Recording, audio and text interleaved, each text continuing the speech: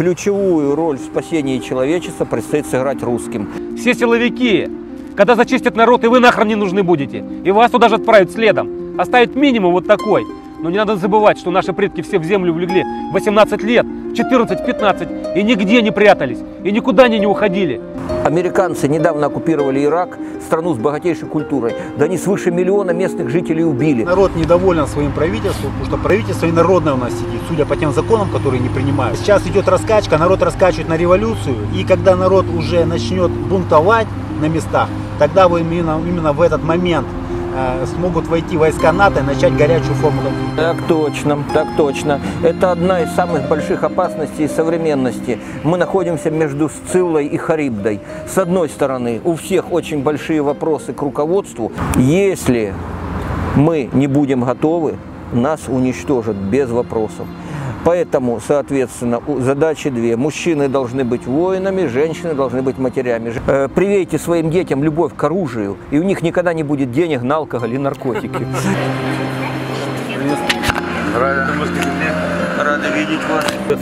Подписали соглашение И что там, киборгов совместной клепать реализации проекта создания новых образцов, только они не добавили биороботов, Да. вживление чипов в организм, сказал. Слушай, Саркисов. ну, враги народа.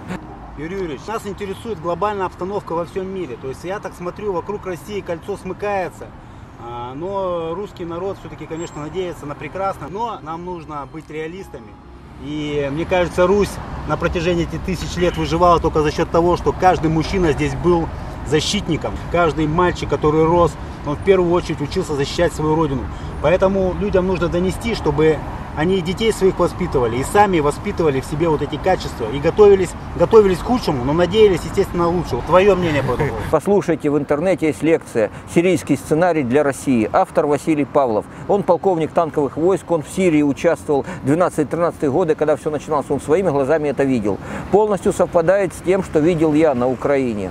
Э, Долго сейчас рассказывать не буду, потому что это сильно долго. Если кратко, внутри страну расшатывают массовая миграция чуждых национально нам элементов из стран Ближнего Востока, откуда фиг пойми еще, среди которых большое количество боевиков, воевавших против нас как в Сирии, так и тех, кто обеспечивали этнические чистки русских у себя. Далее большая инфильтрация боевиков всех и ваххабитских, и укровских, прошедших подготовку во вражеских спеццентрах в Россию сейчас, создание спящих сетей.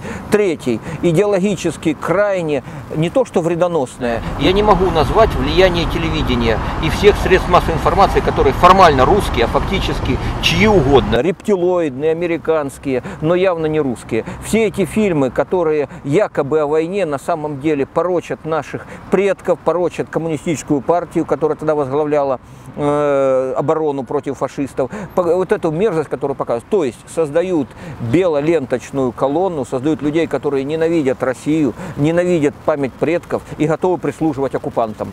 И плюс к этому страны все, которые нас окружают, вы посмотрите, Украина считается в состоянии войны с нами. Молдавия собирается взять реванш за Приднестровье. Эм, Армения, там проамериканское правительство у власти. Азербайджан сейчас де-факто часть Турции, потому что турецкие войска, минимум три бригады общевойсковые, на его территории, о каком суверенитете можно говорить. И так какая страна не коснись, все соседние страны настроены к нам крайне враждебно и собираются против нас воевать. Представьте, что будет в стране, если десятки миллионов мигрантов начнут резню по национальному признаку, одновременно террористы начнут удары по объектам техносферы, атомные станции, гидроэлектростанции, химические заводы, и одновременно к нам кинутся все страны, вот эти ближние, каждая со своим контингентом. И плюс еще с запада, естественно, пойдет НАТО, они скажут, что гляньте, что в России творится, у, у них беспорядок, а у них ядерное оружие, нужно взять его под защиту. И, естественно, НАТО пойдет на Москву. А теперь они могут идти не только с Запада. Благодаря уникальной, блин, политике нашего руководства, без боя отдали Украину, теперь они могут из-под Харькова наступать, с юга, совсем близко, в самые важные центры страны. То есть ситуация критическая, как никогда. Даже в 1941 году так плохо не было, как сейчас.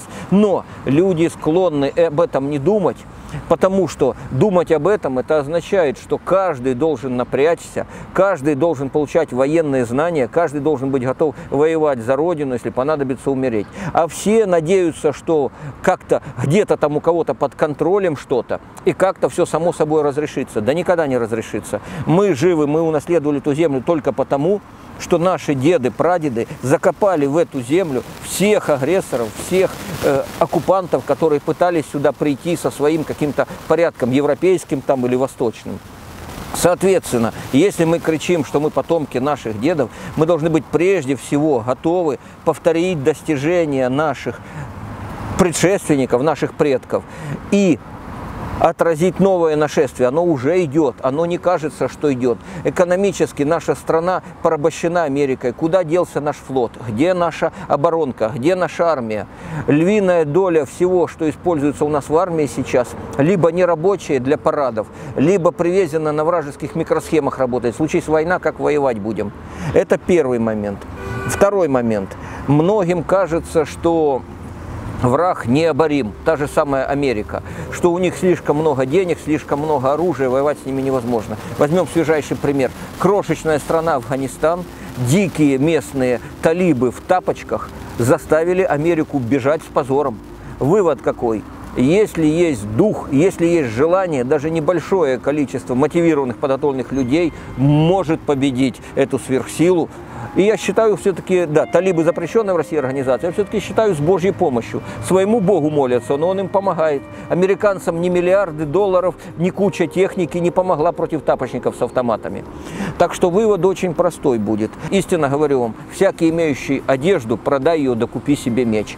Сейчас наступает очередной момент – когда от нас самих будет зависеть, будут наши дети жить на нашей земле, или нас вырежут как индейцев, и будут жить здесь какие-то негры, блин, американские, какие-то ЛГБТ, кто-то еще.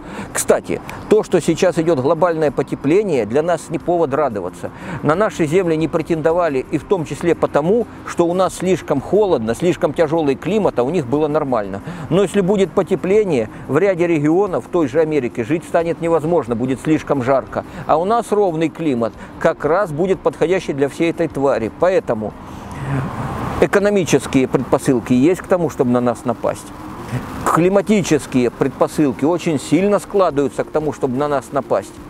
И дополнительно, я бы хотел сказать, плюс ко всему остальному, складывается уникальная ситуация, когда смена технологического уклада. У человечества было несколько смен технологического уклада. Начало, когда одомашнили лошадей, то есть перешли от мускульной силы человека к тягловой силе лошади. Потом, когда создали двигатели, сначала это были мельницы, которые вертелись, потом двигатели паровые, и каждый раз это были огромные войны, гибель целых стран. Почему? Потому что те, кто первыми освоил новые технологии, всегда стараются этим воспользоваться, выбить всех конкурентов и отжать себе побольше.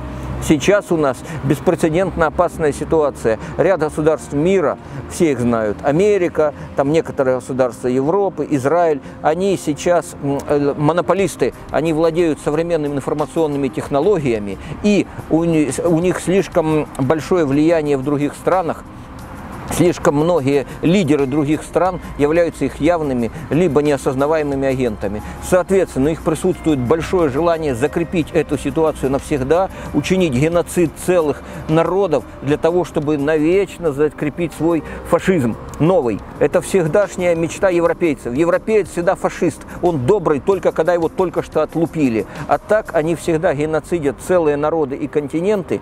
Э, вот кто может не знать, есть такая Бельгия, милая, чудесная страна, да, все постарали. А когда они оккупировали Конго, то там из 25 миллионов человек местного населения за очень короткий срок осталось только 5 миллионов.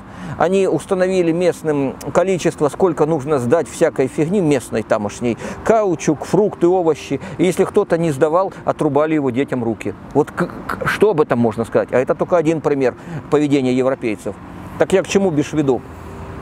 Американцы недавно оккупировали Ирак, страну с богатейшей культурой. Да они свыше миллиона местных жителей убили, разорили все памятники, убили там всю инфраструктуру, уничтожили сельское хозяйство, все, для того, чтобы иракцы в долг у них покупали продукты питания. Вот что делают эти уроды, когда они не получают по зубам надлежащим образом. Ну, вывод будет очень простой. В нынешней ситуации мы не знаем, как развернется дальнейшая политическая ситуация. Какие вызовы нам готовит будущее, это только Всевышний ведает. Но если мы не будем готовы, нас уничтожат без вопросов. Поэтому, соответственно, задачи две. Мужчины должны быть воинами, женщины должны быть матерями. Женщины должны рожать воинов, мужчины должны их воспитывать. Только так мы сможем сохранить за собой нашу землю. Сейчас многие не понимают, что идет, сейчас идут гибридные войны. То есть многие даже не понимают, что вот этот завоз пальмового масла, а, вот эти все а, волшебные уколы, что это просто идет ну, новый уровень войн. А, то есть территории сейчас завоевываются с помощью того, что внедряется новая музыка, новая культура для молодежи. Когда молодежь подрастает, она просто сносит свое правительство и устанавливает новую разрушающую культуру. То есть, и многие люди не понимают, что уже сейчас идет давным-давно война, что наркотой уничтожаются миллионы молодых э, парней, девушек. И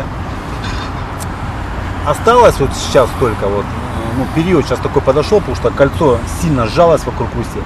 Осталась только горячая форма уже военного конфликта. То есть, в принципе, уже народ недоволен своим правительством, потому что правительство и народное у нас сидит, судя по тем законам, которые не принимают. То есть правительство у нас и народное.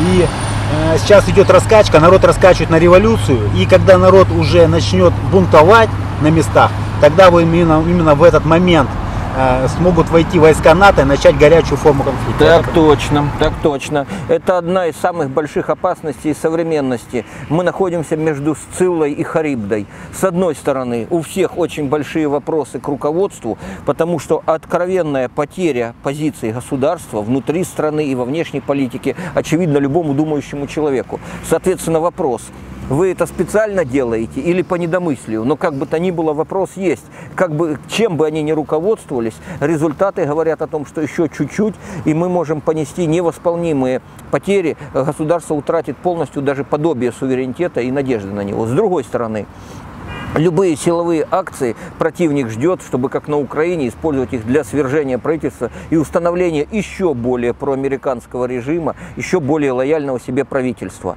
Вот что делать в этой ситуации, вопрос очень сложный. Ответ, кажется, мы можем найти в нашей истории.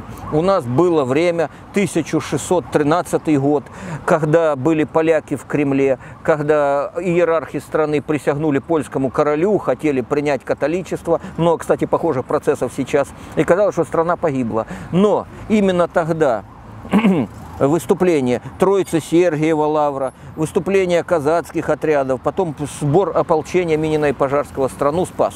Вывод. Прежде всего, люди должны быть боеготовы. Если мы не будем готовы воевать за свою страну, никакие чудесные избавители нам помочь не смогут.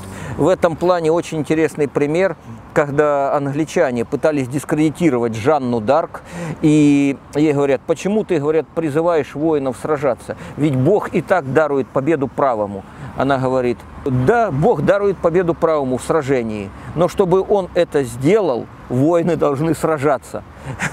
Так вот, мысль очень простая. Э, сейчас нам необходимо каждому человеку кардинально увеличивать уровень своей боевой подготовки. Хотя бы, вот вы правильно упомянули, наркотики, телевидение, то все. У американцев, я их как врагов ненавижу, но и у врага дозволено учиться. У них есть хорошая пословица. «Э, привейте своим детям любовь к оружию, и у них никогда не будет денег на алкоголь и наркотики. Вот я сколько знаю людей, те, кто ездят на сборы, тренируются, там, изучают медицину, тактику, готовятся воевать, у них нет времени и интереса ни на наркотики, ни на алкоголь, ни на какие-то подозрительные тусовки. И дети их растут тоже толковыми людьми. Поэтому э, вся эта военная подготовка, это не только, как некоторым людям непосвященным кажется, чушь на случай, если начнется война. Это образ жизни. Образ жизни, формирующий настоящего мужчину, настоящего воина и настоящий пример для подражания подражание своим детям. Я по этому поводу дам могу с удовольствием сказать, что э, не только, ну и, и я, э, и, наверное, я прежде всего, за себя говорить легче, что какое-то время было непризнание со стороны близких всей моей деятельности, типа, да ладно, ты там контуженный на войне параноик, что с тебя взять? Но по мере того, как обстановка сейчас развивается, у родственников взгляд совсем другой, тоже лицензия, тоже оружие, тоже давай проходить курсы у наследников по подготовке, там спецназовские, все остальные. И второй интересный момент, когда вот человек э, там на какие-то спецназовские курсы едет, и там где-то ребенок в болотах мерзнет, мокнет, слезы, сопли, вой, а потом приехал, начинает всем остальным рассказывать, и все остальные сверстники зависть. О, нифига себе человек. О, я, я становлюсь настоящим человеком. Э, идея, что нужно прожить за компьютером, сидя на диване в теплой квартире свою жизнь, как у современной молодежи, это катастрофический путь, это гибельный. Господь сказал, плодитесь и размножайтесь, и много чего сказал. Прежде всего, речь о том, что человек должен в трудах землю наследовать, сад возделывать, детей воспитывать, выращивать. Если ты этого не делаешь, Бог у тебя отбирает силы, и сейчас сколько относительно молодых мужчин умирает и алкоголь, и наркотики, и просто здоровья нет, инфаркт, инсульт. Сколько относительно молодых женщин болеют, в частности, раком, потому что не хотят рожать. Люди, вы не хотите выполнять свое предназначение, Бог говорит, хорошо, тогда не дам вам силы, вы сами умрете, потому что без Божьей помощи человек очень слаб, он никчемен. Ну и дополнительно, что еще хотел бы сказать, многим людям кажется, многим людям кажется, что заниматься защитой Отечества, всеми этими вещами могут какие-то специально обученные люди, выведенные в пробирке, как мне говорят, я не могу воевать, у меня жена, дети, я говорю, ага. А мы специально выращенные на секретном комбинате киборги, у нас ни жен, ни детей, ни родственников, ни инстинкта самосохранения. Смеюсь. Э, ситуация выглядит следующим образом. Я когда-то давно, еще до всех этих процессов, читал фразу в одной там статье, говорит, попробуй спецназ на вкус, тебе понравится. Когда ты приходишь, приезжаешь куда-то там на сборы, вот к нам приехал на сборы один офицер, крайние сборы по тактической медицине, много народу было. И вот он говорит, я, говорит, собрал ребят, говорю, поехали вместе, там подготовка по медицине, если ранят, вы же даже не знаете, что делать будете. Они мне говорят, товарищ командир, не переживайте, если начнется какой кипиш, в смысле война, я не поеду, я уволюсь. Все, говорит, кто служит. И я, говорит, еду, думаю, может, я сумасшедший, э, типа, готовлюсь воевать, и остальные наши военные все разбегутся. Приехал, смотрю, целая толпа людей, таких же, как я, которые разбегаться не будут, которые намерены драться. И мне стало спокойнее, потому что я вижу единомышленников. Когда ты с людьми куда-то там на природе, в тяжелых условиях преодолеваешь себя, э, это ни с чем не сравнимое чувство и настоящего братства, даже если не боевое, а просто вы где-то в болотах, в горах, в лесах это и настоящие друзья, это и общие интересы, и совсем другой взгляд на себя. Ты понимаешь, что ты один можешь сделать очень многое. Да что я могу один? Даже один человек очень может многое, а буквально несколько человек могут практически все.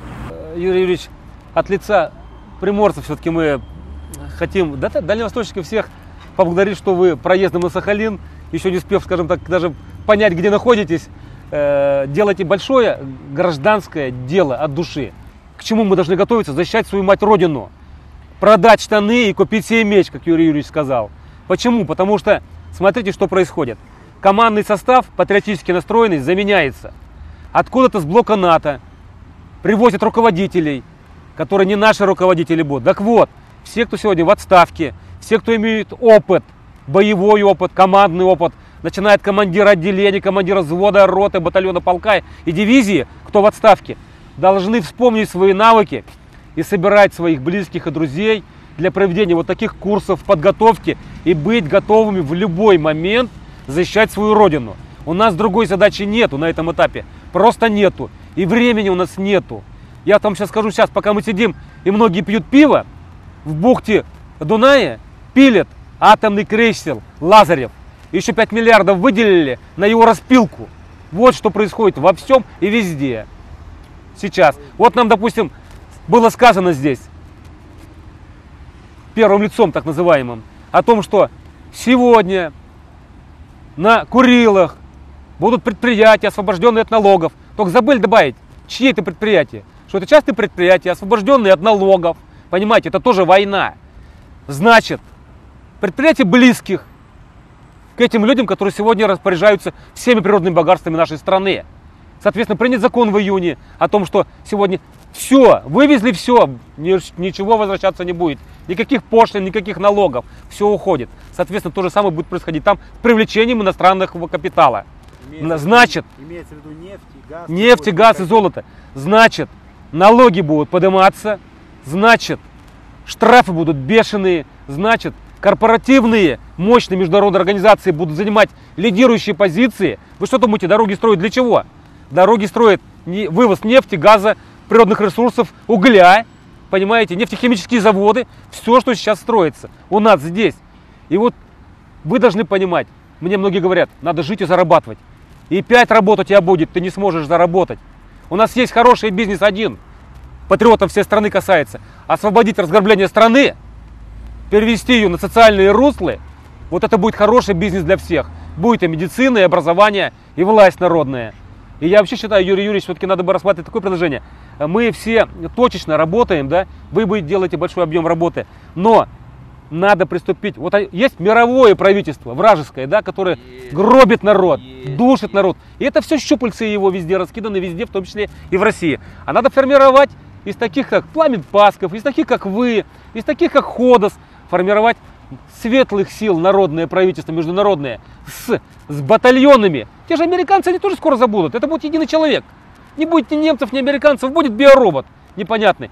Значит, пускай там светлые силы тоже сделают такие же, таких же специалистов, как Юрий Юрьевич, тоже собирают, скажем так, интернациональные батальоны. И это будет мировое движение светлых сил. Идея хорошая. Большая проблема в том, что все равно ключевую роль в спасении человечества предстоит сыграть русским. Помните, как во времена войны с Гитлером у нас перед войной была надежда, что восстанет пролетариат Германии, что будут интернациональные бригады. В итоге как бы пришлось все равно основное всю работу делать нам. Это это древняя миссия России останавливать всех антихристов. Ведь Наполеон, до него Карл XII, Стефан Баторий, все прочие, они же тоже были ставленниками мировой закулисы. Их тоже финансировали.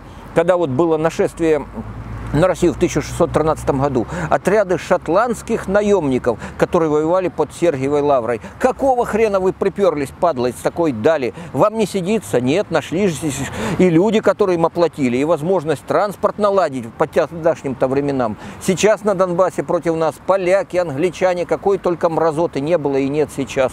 Вывод.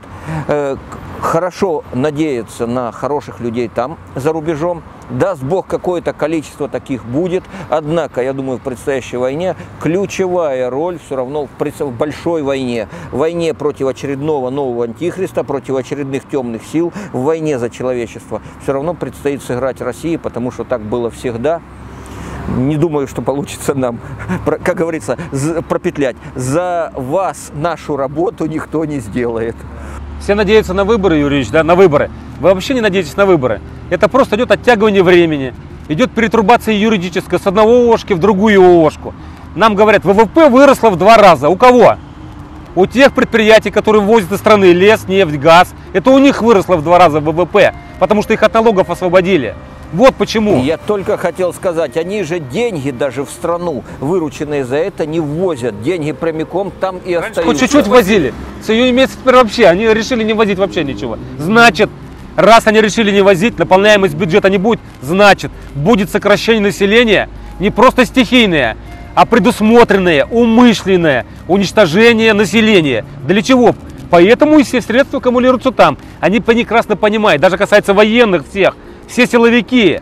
Когда зачистят народ, и вы нахрен не нужны будете. И вас туда же отправят следом. Оставят минимум вот такой. Но не надо забывать, что наши предки все в землю влегли в 18 лет, в 14, в 15, и нигде не прятались, и никуда они не уходили. На современном этапе, ну как бы переходя чисто к практическим моментам, я несколько раз сказал про интенсивы, курсы тактической медицины. Пригласили нас на Сахалин, ваши соседи, вот пролетом через славный город Владивосток на Сахалин. Курсы тактической медицины ведем уже порядка пяти лет на основании полученного в Донбассе, а также в Сирии опыта. Написано нами и издан целый ряд методических рекомендаций. Общее число людей подготовленных превысило 5000 человек. Человек половина примерно военные сотрудники силовых структур Российской Федерации. Соответственно, обстановка у вас будет не сильно легче, если начнется большая война. Почему? Крупный порт, близость границ с Китаем, близость Японии агрессивной, много всякого. Э, Вывод. Медицинская подготовка является ключевой в любом случае. Война, техногенная катастрофа, теракт, стихийное бедствие. Люди не знают, как оказывать медицинскую помощь, из-за этого массовые жертвы. На наших курсах можно этому научиться, поэтому Мы соберем ребят, от тех, кто занимается этими вопросами, которые понимают. Мы соберем тех, которые уже что-то могут. Они соберут тех, которые вообще ничего не могут. и всех вместе Да, да, потренируем. всех вместе соберем, да, и с вашего разрешения пригласим вас. Я думаю, что найдете времечко для нас. Только за. Будем рады видеть вас и заодно будем рады поработать с воинскими частями, которые здесь находятся.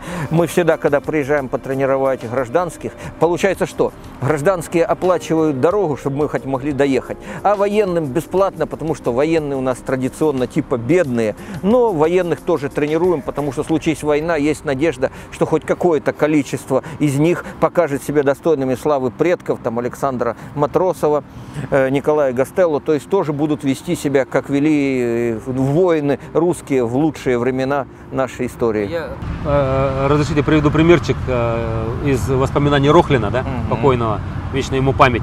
Когда их окружили, э, остался он с маленькой группой, и он собрал бойцов и сказал, вот так вот, сынки мои, выйти нам отсюда живыми, шансов немного. Но вот вам фильм, как сдавшиеся в плен резали головы.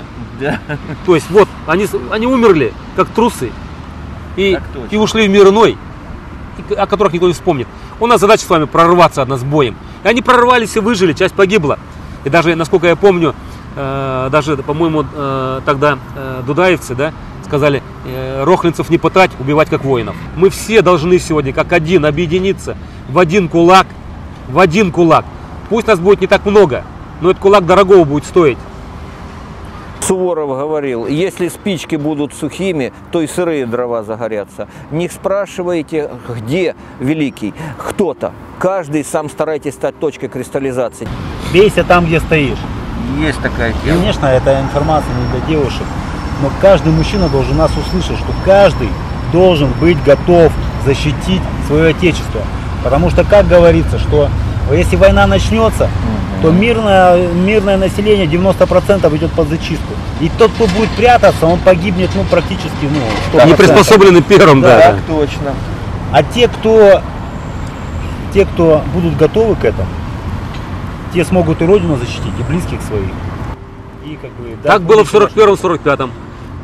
Потери какие были? Как только научились воевать, как только объединились, как только поняли, что у нас лучше погибнуть в бою, спасая своих детей, чем бежать как трусы, потом все равно вырежут всех. Так точно. Так точно, дорогой мой. Николай, у нас здесь вот неделя успеем. Нет, успеем. Пол 15 минут шестого. Так я же об этом и говорю, может не успеем. А, в 7 часов самолет? 7. 18.20. 18.20 посадка. Да.